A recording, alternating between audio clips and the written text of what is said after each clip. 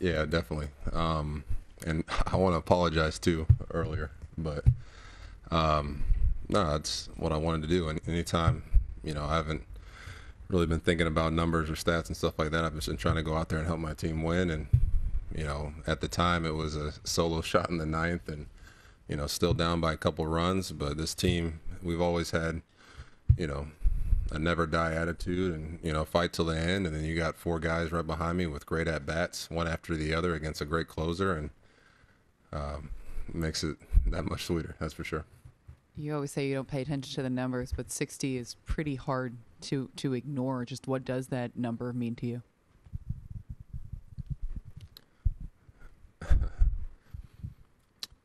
It, it, it's tough to say because you don't like i said i don't i don't i don't think about it i don't think about the numbers and you know when you talk about ruth and maris and mantle and all these you know yankees greats that you know did so many great things in this game you know you know you never imagine as a kid you know getting mentioned with them but you know it's it's, it's an incredible honor you know and um, you know something i don't take lightly at, light lightly at all um, but you know we're not done. We still got a couple games left in this in this season, and you know hopefully a couple more wins come with them.